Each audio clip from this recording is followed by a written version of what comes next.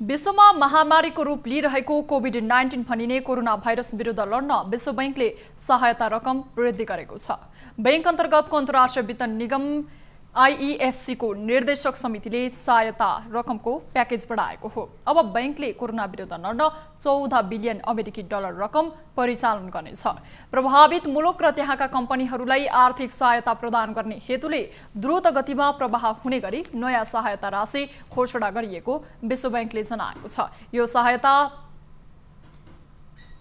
परिचालन मार्फत कोरोना रोकथाम पहिचान र नियन्त्रणका लागि आवश्यक कदम चालिनेछ। प्रभावित मुलुकहरूको सार्वजनिक स्वास्थ्य पूर्व तयारी रोग नियन्त्रण रोकथाम निदान र उपचार एवं निजी क्षेत्रलाई सहयोग गरिने विश्व बैङ्कले जानकारी दिएको छ। यसअघि आइइएफसीले आठ बिलियन अमेरिकी डलर सहायता रकम घोषणा गरेको थियो।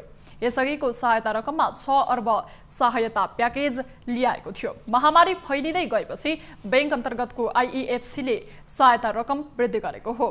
आइइएफसी फाइनेन्सिङको पछिल्लो एकमुष्ट रकम वित्तीय संस्थाहरूलाई व्यापार लगानी पुँजीगत सहायता र मध्यकालीन वित्तीय पक्ष पोषण खर्च गरिनेछ।